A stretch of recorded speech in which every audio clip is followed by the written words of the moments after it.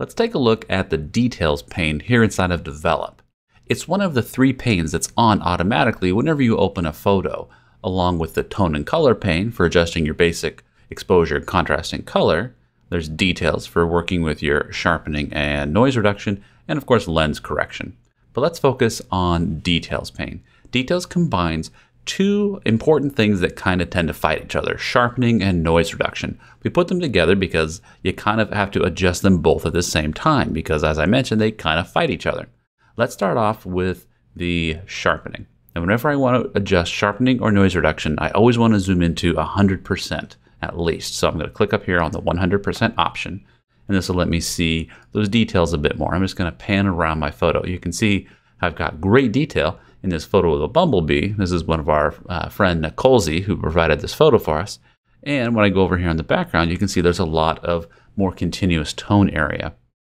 And you see in this continuous tone area in the petals that are out of focus and in the background, there's quite a bit of noise in there. I think this was photographed at a fairly high ISO. Yeah, this is a 4000 ISO photo. So we need to do some additional noise reduction to it. Now, automatically we apply a base amount of noise reduction that's based on a camera to camera and ISO basis, but you can enhance that as well. So let's start off with the sharpening slider. Simply grab the sharpening amount slider and you can turn it up to your tastes.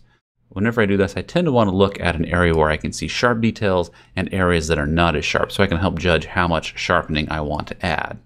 This is a visual sharpening. This is more to bring back what may have not been as sharp in the camera. This is not your final sharpening you'll do for printing, which is designed more to deal with your uh, uh, particular printer or paper ink combination. That's something you'll do with a sharpening pane inside of Effects before you go to print, or with a sharpening pane inside of Resize before you print. Now, to help you dial in the amount of sharpening adjustment you want, you can hold down the Alt key or the Option key on your keyboard while you adjust the sharpening slider, and you'll see just a grayscale representation of the photo. That makes it a little easier to make your adjustments without seeing the color in the way. So there we go. I'm going to dial it to probably 80%. I want quite a bit of additional sharpness on this one. The masking slider controls where the sharpening gets applied. When it's set to zero, it's going to apply it to just about every pixel in the photo, which means areas that are noisy are going to get amplified as well. That noise can get enhanced. Adjusting the masking up will focus the sharpening only on the edges where there's a difference between neighboring pixels. And this is another one that you can preview by holding down the Option key or the Alt key. So you can see normally at zero, it's applying to almost every pixel in the photo. Everything that's white is going to get sharpening applied to it. Anything that's black sharpening is being masked off. As I bring that slider up, you can see how it's reducing the sharpening and keeping it really only on the edges of my photo.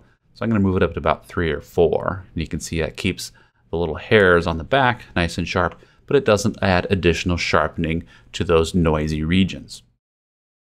All right, once I've adjusted the sharpening to taste, now we're going to go look at noise reduction. So for noise, I kind of want to look at an area that's pretty noisy to make my adjustment. So I'm going to look here in the background. When it comes to noise, there's two different types of noise. There's what we call luminance noise, which is kind of the underlying noise in the structure of the photo, and then there's color noise, which comes from the demosaicing process of the raw photo, where it's guessing on a lot of the color. So in an area of consistent color, especially grays, it has a hard time making the right adjustment. So that's why there's two different sections in noise reduction, one for focusing on luminance and one for focusing on color. I like to adjust the color first, that way I can get it out of the way and really focus on the luminance. Now, adjusting the color noise, there's a color amount slider and a detail slider. Both of those will show you an overlay when you hold down that option or the alt key. It's going to show you just the color in the photo.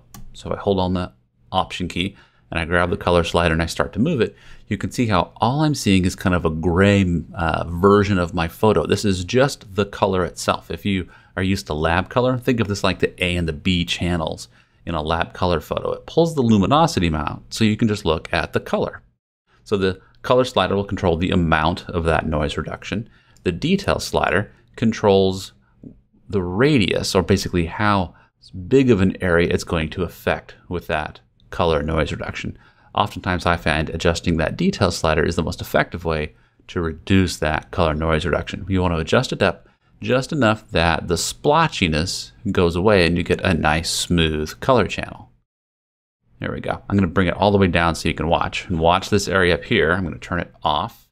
So there we go. You can see that diffuse color noise in there. And as I bring that up, you'll see how it disappears. By the time I get up to around 50 or so, all of that's gone. Now, once that's gone, now I'll adjust the, the uh, luminance uh, noise reduction. This one's the tricky one. As you adjust luminance noise reduction, it's finding the right balance of noise reduction yet maintaining detail. Because what it has to do is it has to soften the photo. So we're telling it how much to soften it and where to soften it with. So if I just simply grab the luminance slider and I crank it all the way up, you can see how everything becomes very soft, but I also lose a lot of the sharp details that I want to maintain. So what you want to do is find that balancing point. If you hold down the option of the Alt key, you'll see an overlay, which will remove the color from the photo so you can really watch you're kind of looking for just the edge of where you start to remove that noise, but maintain a lot of the detail.